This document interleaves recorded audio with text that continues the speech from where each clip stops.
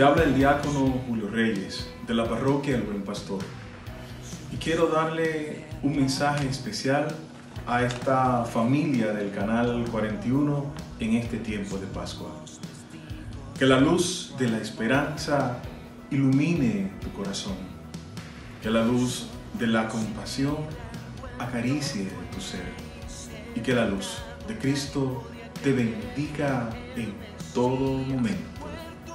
Felices Pascuas de Resurrección.